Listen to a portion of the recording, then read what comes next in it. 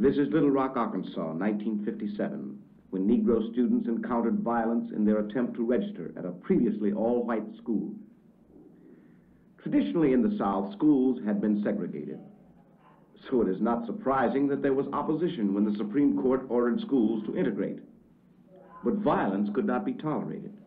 President Eisenhower ordered in federal troops to support the rights of the Negro students. To the eyes of the world, the fact of violence tended to obscure the true meaning of Little Rock. Its importance was that it demonstrated to those who opposed integration that they would ultimately have to give way. Negroes' rights would be upheld by the federal government. Eventually, these students were admitted, educated, and graduated. Today in Little Rock, this school is peacefully integrated. Year by year, integration of schools has proceeded, but there have been some holdouts. One of these was the University of Mississippi. In 1962, the Little Rock story was repeated there when President Kennedy sent in federal troops to ensure James Meredith's right to enroll and to pursue his studies. At this point, this is our fault to believe that white society and the systems we live in would educate black children the same as theirs. Not only did black people risk their freedom and their lives to force integration into white society, they also fought for the right to have their children sit side by side with white students. Today, 75% of the schools have resegregated, but now they're under the authority of the public school system, and this is the negative result. We're one of the few countries in the world that systematically and deliberately spends less money to educate poor children than affluent children. It's not true that education is equal in this country because there's still very intense segregation happening in all kinds of forms all over this country. And so what I loved about her film and what she did is I think it spoke to my film 13th in a way, and that we're trying to deconstruct uh, the truths that are supposed to be evident are actually falsehoods, are actually kind of veils pulled over an ugliness that America hasn't dealt with. Teach Us All explores hyper-segregated schools around the country where at least 75% of students are of the same race. Millions and millions of black and Latino kids will go through a public education system that does not educate them. The film says children living in poverty continue to suffer. The mold, the carpet, the walls itself, the classrooms, the teachers, everything that you need in the school or could use in the school is not there. At this point, it's just like a daycare for teenagers. Students at Block High School in rural Louisiana say conditions at their school are so bad that they're struggling to get an education. As you can see right here, if you look closely, it got some um the water that's been leaking that's turning to mold. Like when you go in the classrooms, you can smell it. That building there, B building, it is completely unsafe, but we still do go in there as far as using the auditorium. These are the textbooks they were given at the beginning of the school year. In reading the report by the U.S. Green Building Council, it found that the United States would need to spend an additional $46 billion annually on school building construction and maintenance in order to ensure safe and healthy facilities for students. Two-thirds of schools were found to harbor unhealthy environmental conditions like peeling paint, crumbling plaster, non-functioning toilets, poor lighting, inadequate ventilation, and decrepit heating and cooling systems. Airborne contaminants like asbestos, radon, formaldehyde can be found in old schools and have a disproportionate effect on younger children. Public education in rural areas gets little national attention.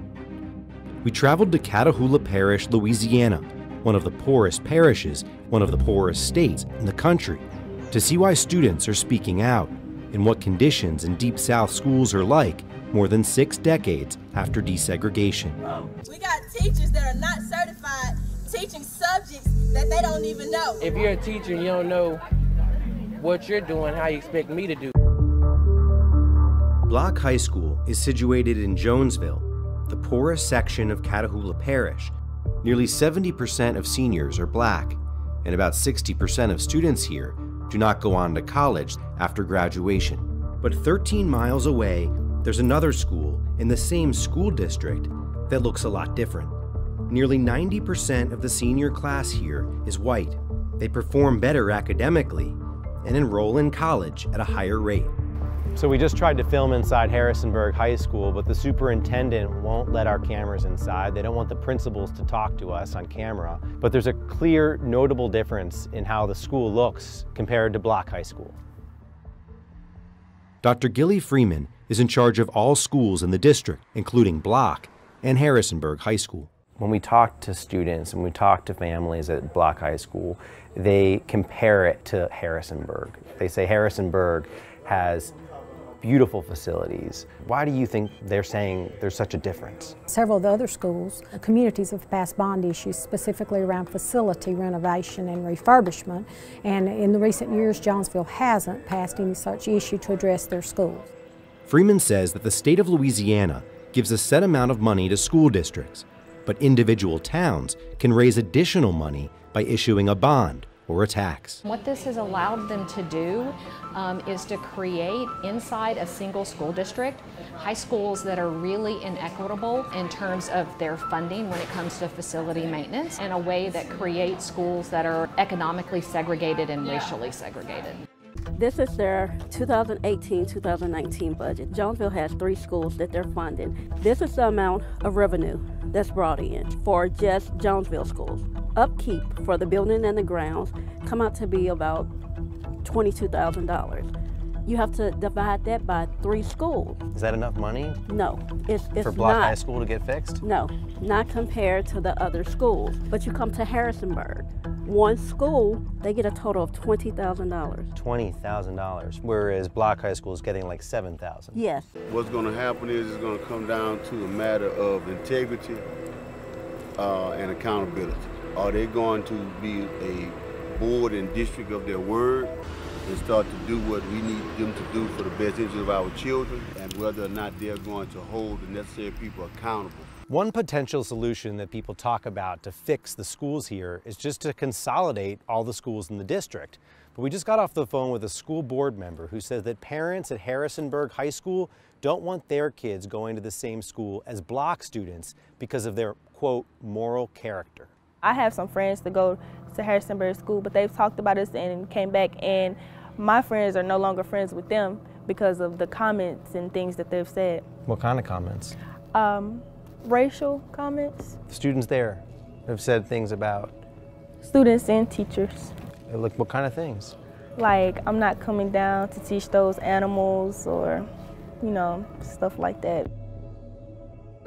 Shercold wants to go to college, but she says she's not ready. Honestly, I don't know what I'm going to do after high school.